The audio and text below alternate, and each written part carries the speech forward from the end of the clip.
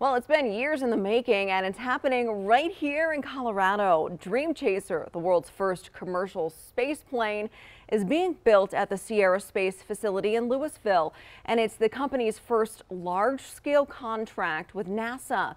The plane is set to launch into space next year. Now, I had the chance to take an exclusive behind-the-scenes look at Dream Chaser being put together piece by piece. The next industrial revolution is happening just 250 miles above our heads in space, and Dream Chaser is part of that, what's being called the orbital age. The primary purpose right now is for our NASA contract. We have seven missions to and from the International Space Station to take cargo to the astronauts on board. The Senior Vice President of Mission Assurance at Sierra Space, Angie Wise, says Dream Chaser will be doing, at a minimum, those seven missions.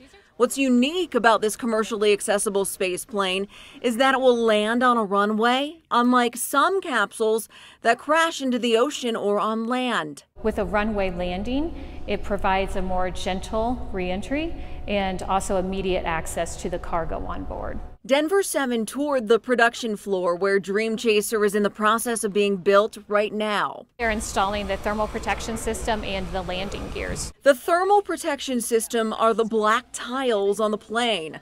Wise says those tiles absorb all the heat during re-entry into the atmosphere. This is the volume that has all the electronics that no crew member needs to have access to during flight but it what allows it to fly. No astronauts will be on board when it launches in 2023 and it will stay on the space station for 35 to 75 days before flying back to Earth without a crew. We have the guidance, navigation, and control all on board the vehicle so that it knows how to fly itself back to the runway.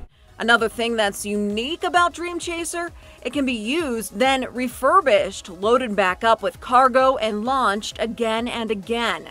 CEO of Sierra Space, Jeff Babione, says the opportunities with Dream Chaser are endless. In our future, we have a Dream Chaser, DC-200 version, where we will bring uh, crew first, hopefully, uh, astronauts to the International Space Station. And eventually deliver cargo to any major airport. Let's say we brought up an experiment for a biopharma lab. We could deliver that right down to the runway closest to the city that they're working in. Angie Wise says new projects like Dream Chaser could eventually allow us the opportunity to discover new technologies that could benefit life on Earth.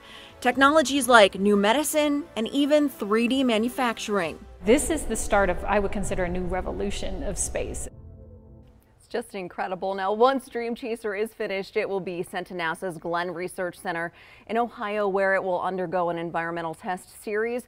Then it will travel down to the Kennedy Space Center in Florida for her launch next year.